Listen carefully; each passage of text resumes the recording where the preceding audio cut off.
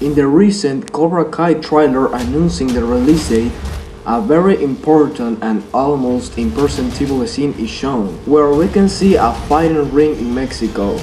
The strange thing is that he is accompanied by another character.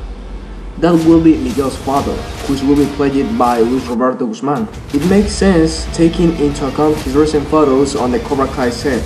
He also has the same complexion as the actor and the photos on set. What do you think?